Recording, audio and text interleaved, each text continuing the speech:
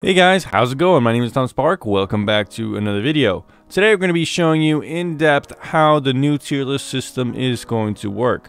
This will help you understand how VPNs are rated, so that way you understand the objective, kind of transparent nature of the new system going forward. This is going to be an extremely detailed point-by-point -point system, but at the same time remaining simple enough to not waste your time watching a one-hour review of each VPN.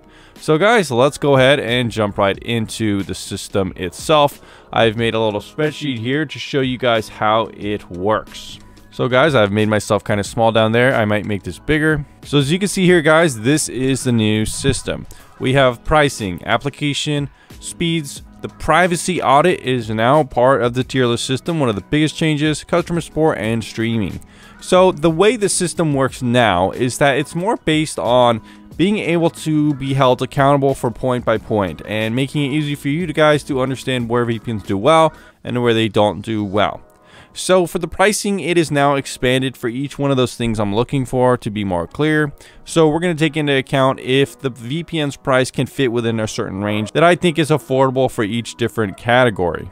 So I think for one month, six to ten dollars is a good price. Six months, 20, 20, six month, 20 to 30 dollars, one year, and so on.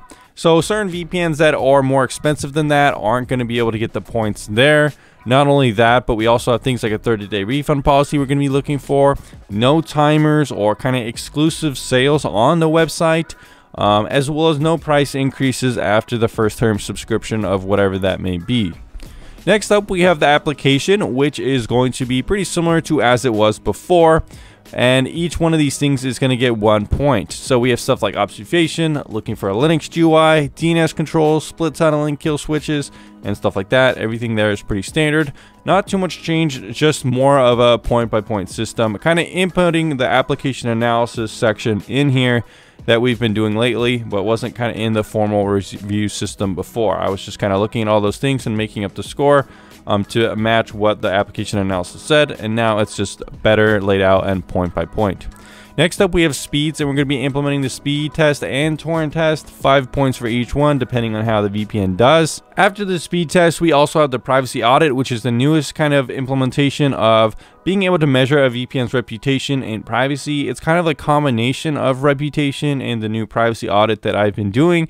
So this is um, a little bit of a more nuanced section with the point system. Um, if you guys hadn't been able to tell, each section is worth 10 points and then um, it's kind of split up between the different categories. So this one with the privacy audit, I decided to make the history of data leaks and stuff like that three points instead of a one point like the other thing, since I think it is the most important thing if a VPN has had a history of messing up their security, since it isn't a good thing, and a lot of people don't want to use a VPN that has messed up in the past.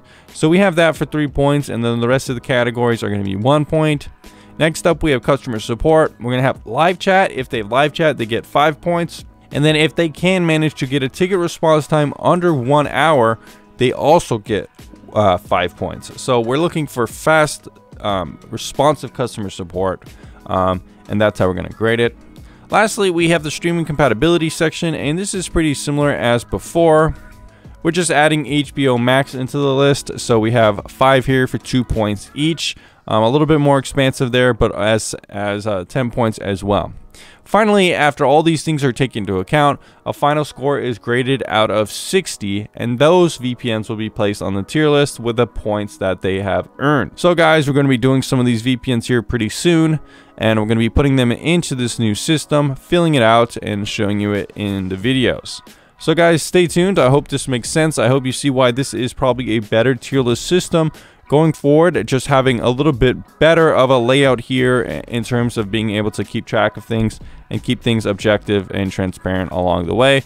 That way, anyone can see why I've rated a VPN a certain way and see that it's a fair rating. Anyways, guys, see you in the next VPN review here in this system very soon.